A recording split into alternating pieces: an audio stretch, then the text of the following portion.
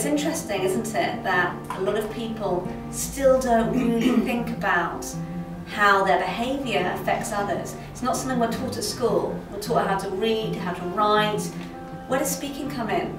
a lot of people have jobs, have careers where their primary uh, form of communication is the spoken word.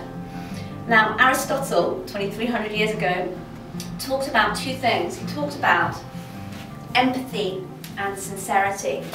So when we combine empathy and sincerity, we get persuasion. When do I need to persuade people? The answer is all the time. All the time. Whenever you're getting rapport with people, you're bringing them over to your way of thinking. She was very good, uh, very interactive and um, very positive and inspirational. When you're communicating with someone else, obviously you need to be aware of what's going on with them. It's about being perceptive. But the first step is to be aware of how you're feeling because how you're feeling has an impact on how everyone else perceives you. And this is because it will show in your physiology, in your facial expressions. So if, for instance, you were on the phone to a, a customer and they said, I'm so annoyed, could say, I'm so sorry. You see what I mean?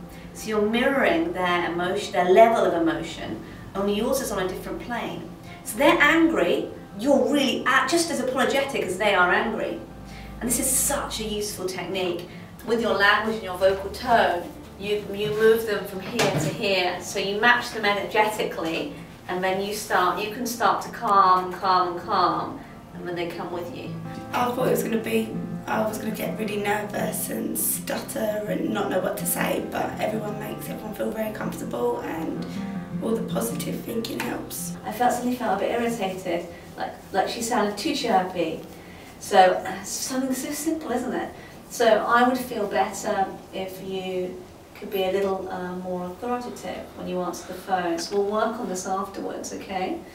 And you started to use that idea of, well, resolve it. You said problem once and then you corrected yourself. So you were also thinking about language, which I was, which I was really impressed about, because there's a lot to think about.